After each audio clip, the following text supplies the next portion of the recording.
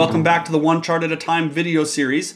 We are now entering our fourth section of the series. We're now going to start talking about visualizations that are used to plot geospatial data, maps. There's a lot of considerations when it comes to plotting geographic data, as we're going to see over the next few days when it comes to creating maps. And to kick us off, we're going to talk about the choropleth map, which is the standard map type you've probably seen when we're plotting data on a map, but it does have that weird name. And to help us understand more about the choropleth map and things to consider, we have Casey Miller from the Los Angeles Times to help us better understand the choropleth map. Hey, Jon. Thanks for having me. Today I'm going to talk about choropleth maps. These kinds of maps are used to show values over a geographical area. You've probably recently seen a lot of these because it's an election year. They're very frequently used to display election results, uh, especially by state and county level. They, of course, can be used for other things too, though, as long as you use them correctly. Uh, one of the most common pitfalls when making choropleth maps is accidentally making a population density map. This could be the number of people under the age of 18 around the United States or US employment density. Inherently, both of these things are going to be higher in urban areas than they are in rural areas. That's something you should really keep in mind because you're not therefore then displaying that actual data itself, you're just showing that there are a lot of people there. Uh, that's something that is not really helpful when doing a map and often the case for not making the map, to be honest. Something that is hugely important when making corp choropleth maps is using the right color scheme. So there are a couple different color schemes. There's sequential, whether it be like a scale, for instance, the percentage of people in areas that are Pittsburgh Steelers fans. It's going to be higher probably in Pennsylvania than it will be in North Carolina uh, categorical and or qualitative, which is, for instance, say which presidential candidate won the primary in different counties in California, and diverging, which I made a map like this this year um, for Southern California, which was you know Trump versus Biden. So on a scale of you know who voted the most for Trump being like the darkest red to scale toward the middle, maybe being white, and then to the farthest by Biden being dark blue.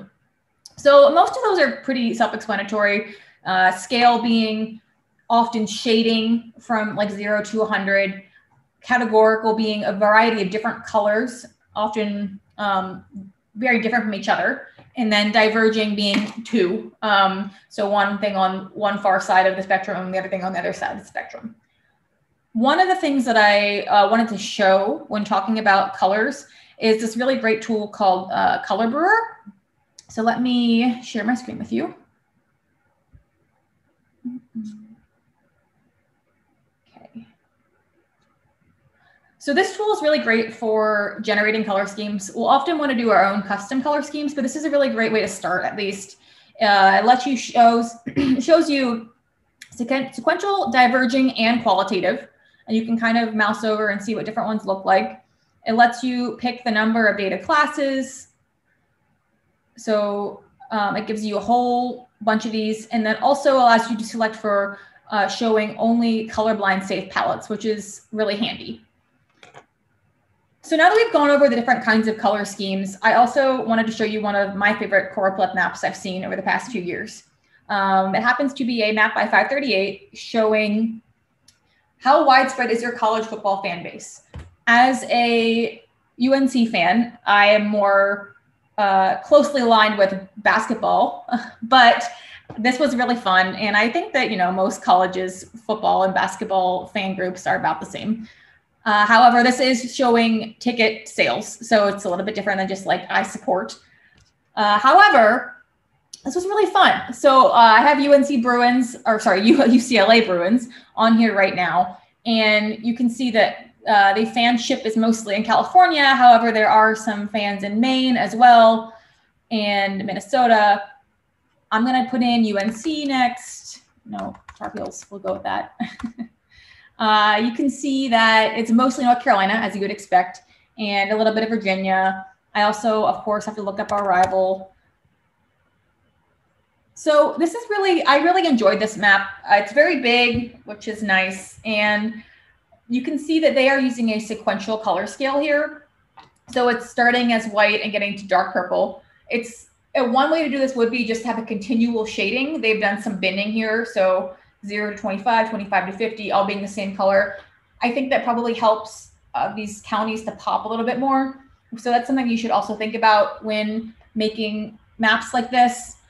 Uh, this is just a fun example, though, to show that they don't have to just be about politics. You can use them to show any kind of data. And this happened to be a really fun one that I liked. So that's my little spiel about choropleth maps. I hope you enjoyed it, and I hope that you want to make one sometime. Thanks for having me, Jon. Have a good day. And thanks, Casey, for that great review of the choropleth map. It's a great way to start thinking about how to use color in our visualizations and a great kickoff to this section. So come back tomorrow. We're going to talk about different maps and different ways to plot geographic data.